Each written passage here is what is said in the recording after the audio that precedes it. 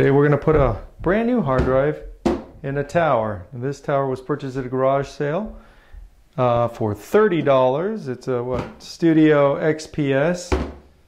Um, it's a pretty good one, really. It's not that old. Made by Dell. Um, but anyway, a guy at a garage sale said they uh, took out the main hard drive, but other than that, it's fine. So this case has one screw right there. Pull that out and this cover comes off. And oh boy, looky, looky. Here's your power supply. Here's some media drives. These are actually Blu-ray and uh, just regular DVD player. Here's your video card. Some other cards. This down, this is the fan that uh, cools down the processor there. Here's some RAM chips. And on this main board is called the motherboard. Most people know all this stuff, but there's always new people. And all these mess of cables, really just hooking up two cables. One is the data cable, and uh, then the other one would be a power cable. And the power cables come out of the power supply and the other cables. This is an SATA cable and that goes on to the hard drive and right down to the motherboard. Looks a little loose on there so I'll push it in a little harder. Make sure it's seated right. Yeah, should be good. Okay, the hard drive we're going to install is a Seagate. It's one terabyte, one TB, SATA drive.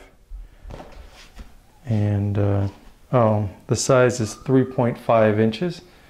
If it says 2.5, that's uh, usually a laptop drive, and it's not what you want. You want a 3.5 inch drive. So this is available from Best Buy for about 75 bucks. All right, and here it is. And they gave you power cable, some screws, and the um, SATA cable, which I guess we're just going to use the screws here. All right.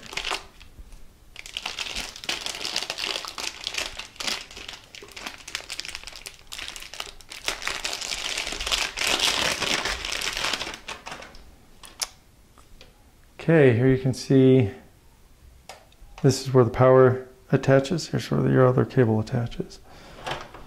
So let's pick a power cable, shall we? What a mess.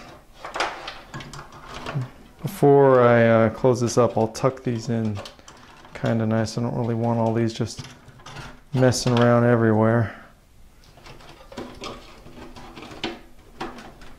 Get some out of the way. Okay, don't need this one either.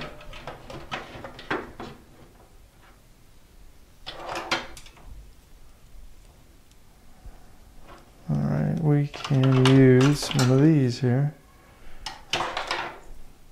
on this one. And all the rest are not necessary. Move those out of the way. Alright, here's the blue cable. Alright. So, I'll just jump onto the first one here.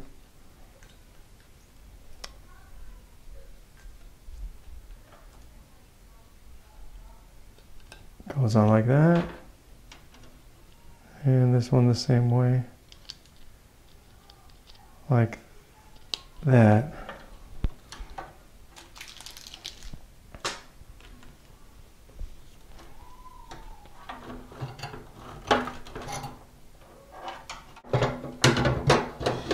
Looks like this can mount right here. There's one, two, three, four screw holes there. Super easy.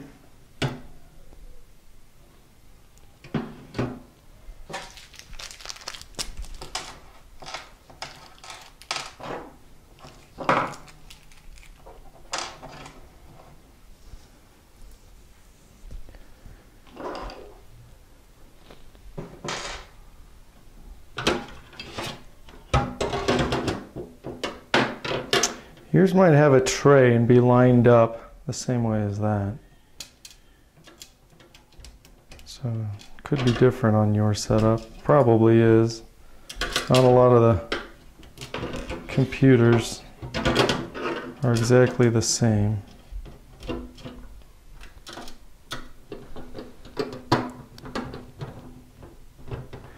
And as always, you want to do this unplugged. Or bad things will happen. Can happen.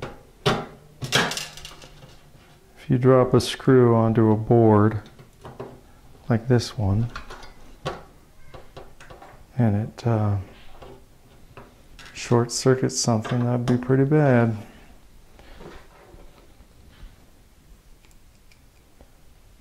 There's no reason to do this plugged in. All right, one, two, three, four screws. Easy. I'm just going to tuck the wires in. There's a lot of room here, so I'll push them all up front here. There we go.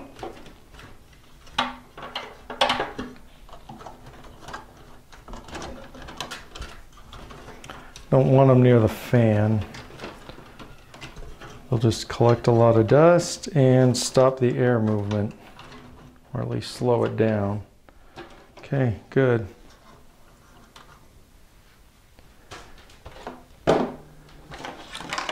And take the cover, slide it back on and put in the screw.